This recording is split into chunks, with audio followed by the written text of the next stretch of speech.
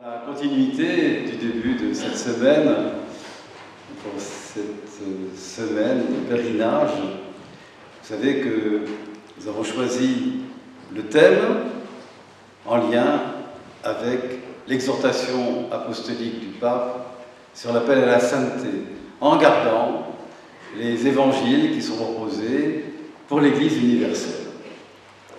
Donc ce soir, nous avons ce beau texte de Saint Luc sur l'appel des disciples et leur envoi.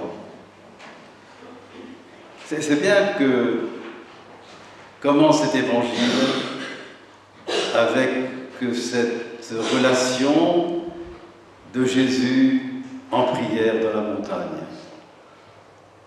Nous sommes un petit peu dans la montagne. Jésus s'en alla dans la montagne pour prier. Il passa toute la nuit à prier Dieu. Nous nous sommes déjà dit cela ensemble. Pour nous chrétiens qui voulons vivre une relation personnelle avec le Christ, nous savons qu'il faudra trouver dans nos journées des lieux de prière et des temps de prière. C'est important que nous puissions, au matin nous levant, trouver des temps et des moments pour parler au Seigneur. Et des lieux peut-être dans la montagne, la nuit. C'était Jésus. Et chacun de nous, sûrement, nous avons à trouver dans nos vies ces moments-là pour être avec lui. Et donc, après ce moment important pour Jésus, qui va être le choix de ses disciples, il y a eu ce temps de prière. Je crois que j'ai dit déjà l'autre jour, l'importance de la prière dans nos vies, c'est curieux comme mes idées changent je prie. Donc Jésus appelle et choisit douze apôtres. Nous les connaissons bien, ce sont les douze pierres de fondation de l'Église, à la suite des douze peuples, tribus d'Israël. Il en a choisi douze. Des hommes tout simples, des pécheurs, quand on regarde ce texte-là, on voit bien qu'il y a le premier Simon, qui a renié Jésus juste avant sa mort. Bien sûr, il y a aussi Judas et d'autres. Jacques et Jean, qui voulaient des promotions par le biais de leur mère, et ainsi de suite. Il a choisi des pécheurs. Et c'est eux sur lesquels il a compté pour bâtir son Église pour construire son Église. Vous avez remarqué, ce sont des pierres de fondation. L'Église repose sur des fondations que sont les apôtres. Il faut changer peut-être nos schémas. Quand on pense l'Église, on a toujours une vision un peu trop pyramidale. Pour un Français, on dirait un peu comme une tour Eiffel. En haut, le pape. Après, les évêques. Après, les prêtres. Après, peut-être les diacres. Puis alors après, après. Alors imaginez un bâtiment, peut-être même cette chapelle, elle est fondée sur des fondations, sur le roc. Le roc, c'est Christ, bien sûr. Et puis, et puis ensuite, il y a les pierres. Mais dans un bâtiment, ce n'est pas forcément les pierres de fondation qu'on voit le plus. Souvent on dit l'église, c'est les curés, les bonnes sœurs. Ah non, l'Église, c'est l'ensemble du peuple de Dieu, mais enraciné, fondé sur les pierres de fondation.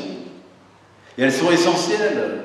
Et ces pierres de fondation doivent être unies, cohérentes, avec Pierre, l'évêque de Rome. Et ce sont des pierres de fondation. Si bien que l'Église, c'est nous tous. Comme le dit très bien Paul dans l'Épître aux Éphésiens, le Christ a aimé l'Église et il s'est livré pour elle. Et c'est là qu'il dit, voilà, Paul dit bien, pierre de fondation, les apôtres. Et nous, nous sommes donc euh, en communion avec les pierres de fondation, cette église de Jésus-Christ, pour rayonner l'évangile, pour rayonner l'évangile, pour être signe de l'évangile, signe de Christ. Quand j'ai été nommé évêque dans le Jura, un ami dessinateur à Troyes m'a fait un petit dessin. Et le petit dessin, ça représentait, et toujours les, femmes qui prennent, ça représentait deux dames très distinguées dans le cœur d'une église, dans la nef d'une église. Et il y a une qui disait à l'autre, vous savez quoi? Pour son royaume, il prend des pécheurs. Et l'autre de répondre, on a vraiment votre chance. Et ça, c'est l'Église de Jésus-Christ. Vous avez entendu l'épître de Paul aux Corinthiens, la misère qu'il pouvait y avoir dans les communautés. Le pape, nous avons parlé hier du pélagianisme. Aujourd'hui, il y a des gens qui pensent qu'ils vont entrer dans le royaume de Dieu à la force des poignets, par une application stricte d'une loi. Le Seigneur dit non, tout est miséricorde. Le pape dit non, tout est miséricorde. Et puis il y en a d'autres gens qui sont visés, et ce ne sont pas les pélagiens, mais des gnostiques. Les gnostiques, ce sont des spirituels, et il y en a toujours aujourd'hui, vous en connaissez sûrement, ce sont des gens qui ont une sensibilité spirituelle, je dirais pas religieuse, parce que religieuse, ça suppose d'être relié à, au Seigneur, mais une belle spiritualité. Vous connaissez, je connais des gens qui ont une dimension spirituelle très belle, dans la méditation, en prenant des temps, des espaces et des, attitudes très belles pour la prière, pour la contemplation. Mais ils ne sont pas en église. Les gnostiques font une confusion et jugent les autres par leur capacité à comprendre la profondeur de certaines doctrines. Ils conçoivent un esprit sans incarnation, incapable de toucher la chair souffrante du Christ dans les autres, corseté dans une encyclopédie d'abstraction. Et alors là, en désincarnant le mystère, il préfère finalement un Dieu sans Christ, un Christ sans Église, une Église sans peuple.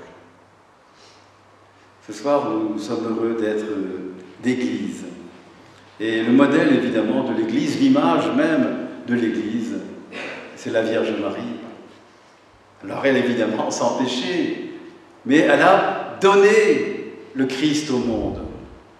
Regardez comme elle est belle, vous la connaissez bien, cette statue de la Vierge Marie, tout au fond là-bas. Une Marie qui, qui porte son enfant et qu'il propose au monde. Ça, c'est toute notre mission à nous ne pas, être centré sur nous, mais proposer Christ au monde d'aujourd'hui. Un Christ, on le verra demain, qui nous donne le vrai bonheur. Et vous avez entendu la suite de l'Évangile. Jésus, après avoir choisi les douze, eh bien, il les emmène. Et puis beaucoup de gens viennent, tous ceux qui sont tourmentés par des esprits, par des maladies. Voilà. Il y a avec le Christ les disciples qui vont être au cœur du monde chargé d'annoncer la bonne nouvelle du royaume en acte et en vérité. En acte et en vérité. On le reverra cette semaine. L'Église envoyée à la suite du Christ pour proposer une bonne nouvelle en acte et en vérité. Il s'agit d'être proche de ceux qui sont malades, de ceux qui sont tourmentés. C'est une belle mission que nous avons chrétiens, grâce au Christ bien sûr. Et Marie nous accompagne toute la foule cherchait à le toucher. Parce qu'une force sortait de lui et les guérissait tous. Une force sortait de lui et les guérissait tous. Peut-être que l'un ou l'autre ici ce soir, nous avons eu cette rencontre personnelle avec le Christ qui nous a remis debout. Nous avons envie de porter cette bonne nouvelle. Le plus beau, c'est que ce soir, en vivant l'Eucharistie ensemble, c'est pas une force qui sort de lui, c'est lui-même qui est là. Lui avec tout son amour, corps livré, sans verser, pour vous et pour la multitude. Et, c'est cette force du Christ, nous allons pouvoir y communier si nous le désirons. Elle va être en nous cette force d'amour à rayonner à la suite des disciples et puis surtout à la suite de la Vierge Marie.